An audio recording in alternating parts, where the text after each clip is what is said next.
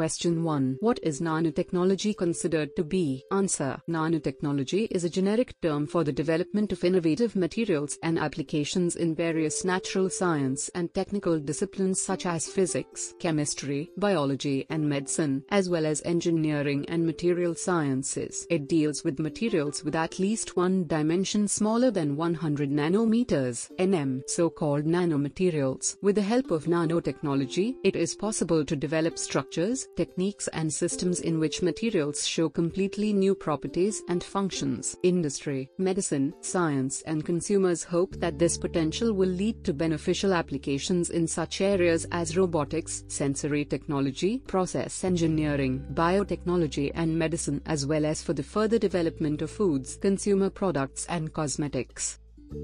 Question 2. What are nanomaterials? Answer. According to the definition of the International Organization for Standardization ISO, manufactured nanomaterials of organic or inorganic origin are differentiated on the one hand into three types of nano-objects which are smaller than 100 nanometers nm in at least one dimension, spherical structures, for example nanoparticles and fullerenes, fibrous structures, for example nanotubes, extremely thin layers, for example nano platelets and into so-called nanostructured materials on the other.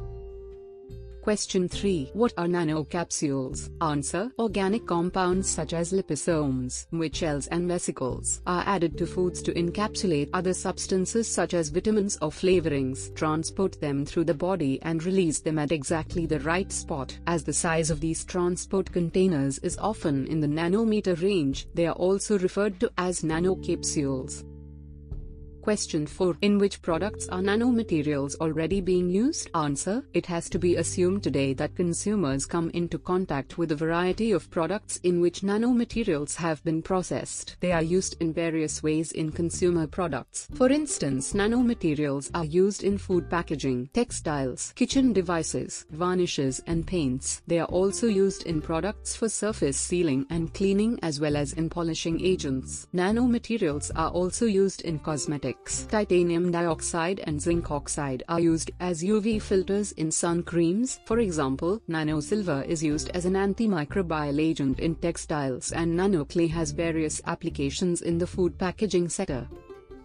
Question 5. How are nanomaterials regulated? Answer. There is no nano-specific regulation in the sense of a nanotechnology law. Instead, lawmakers have decided to adapt existing regulations to the new nanotechnology requirements, a process which has not yet been completed. The situation in the individual areas is currently as follows. Nanomaterials are given explicit consideration for the first time in the new Cosmetics Regulation, EC, number 1223-2009, which is to be applied in full from the 11th of July 2013. According to Article 16 of the EU regulation, cosmetics which contain nanomaterials must be reported to the EU Commission from the 11th of January 2013. In addition to registration in accordance with Article 13 of the EU regulation, notification of cosmetics containing nanomaterials must also be given by electronic means 6 months before they are put into circulation. Question 6. How can I tell if a product contains nanomaterials? Answer. Consumers cannot recognize with the naked eye whether or not a product contains nanomaterials. They have to rely on a declaration which is not yet mandatory, but this is set to change in the coming years. The marking and labeling of cosmetic products containing nanomaterials is planned from 2013 and this will also apply to foods containing nanomaterials from 2014 in line with the European Food Information Regulation. Although several Several manufacturers already claim in their advertisements that their products use nanotechnology. It cannot currently be established whether they actually contain nanoparticles or other nanomaterials. Question 7. Why are nanomaterials used in cosmetics? Answer. Nanomaterials were taken into account for the first time in the new Cosmetics Regulation, EC, number 1223-2009 which comes into effect in the EU on the 11th of July 2013. What has been the case up to now for UV filters and will continue to be so in future is that the decision on their inclusion in the positive list of the UV filters authorized in cosmetics will be made by the EU Commission after a risk assessment. It will be made on the European level by the Scientific Committee of Consumer Safety SCCS, formerly SCC, SCCNFP, SCCP, which advises the EU Commission. Question 8. Are nanomaterials used in foods? Answer. It is being reported that nanomaterials are used as auxiliaries and additives in foods. For instance, silicic acid and other silicon-containing compounds are said to be used as anti-caking agents or thickeners to prevent table salt crystals and powder form foods from sticking together and to make ketchup or more easily. Silicic acid is also used as a flocculant in wine and fruit juice production. It is not yet clear whether silicic acid is actually used as a nanomaterial. Nanomaterials are also allegedly used specifically as food supplements. There are reports of the use of inorganic materials such as silicon dioxide, colloidal silver, calcium and magnesium in nanoparticle form. It is not clear whether these materials are present in foods as nanoparticles or in aggregate form. The food industry is currently developing functional foods in which vitamins, omega-3 fatty acids, phytosterols and aromas are enclosed in nanocapsules made of organic materials such as liposomes and then released at a specific spot in the body. Question 9. Has there ever been a product in which the nanomaterials caused damage to health? Answer. So far, the BFR has not received any reports about cases in which health damage was shown to have been caused by nanoparticles or nanomaterials. The health disorders, in some cases severe, which occurred in March 2006 after the use of so-called nano-sealing sprays were not due to nanoparticles or other nanomaterials according to the BFR findings.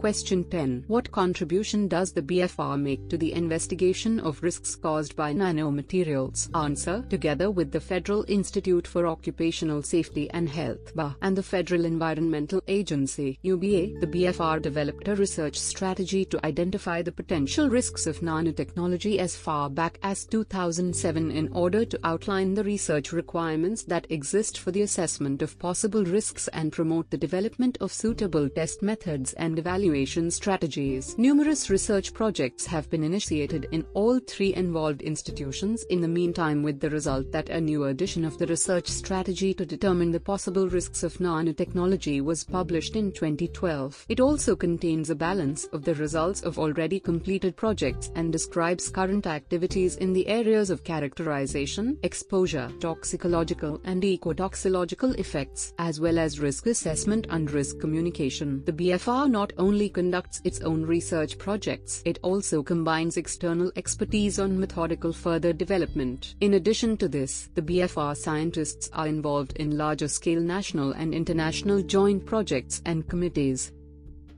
Question 11. What is nanotechnology? Answer. The definition most frequently used by government and industry involves structures, devices, and systems having novel properties and functions due to the arrangement of their atoms on the 1 to 100 nanometer scale. Many fields of endeavor contribute to nanotechnology, including molecular physics, materials science, chemistry, biology, computer science, electrical engineering, and mechanical engineering. Due to the extreme breadth and generality of this definition, many prefer to use the term nanotechnologies for clarity. It is also useful to differentiate between near-term and long-term prospects or to segment the field into first generation through fourth generation stages.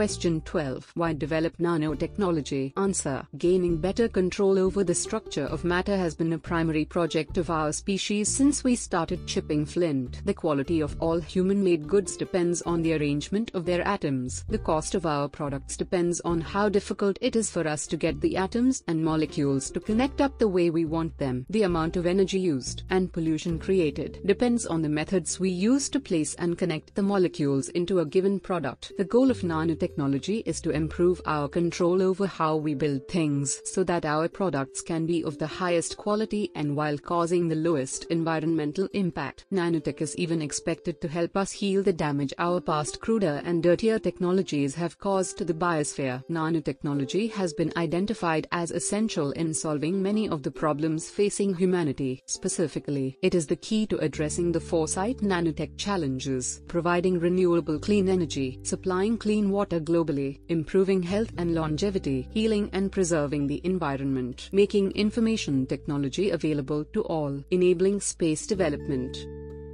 Question 13. How can nanotechnology promise to build products with both extreme precision in structure and environmental cleanliness in the production process? Answer. Traditional manufacturing builds in a top-down fashion, taking a chunk of material and removing chunks of it. For example, by grinding or by dissolving with acids until the final product part is achieved. The goal of nanotechnology is to instead build in a bottom-up fashion, starting with individual molecules and bringing them together to form product parts in which every atom is in a precise, designed location in comparison with the top-down approach. This method could potentially have much less material left over, greatly reducing pollution. In practice, both top-down and bottom-up methods are useful and being actively pursued at the nanoscale. However, the ultimate goal of building products with atomic precision will require a bottom-up approach.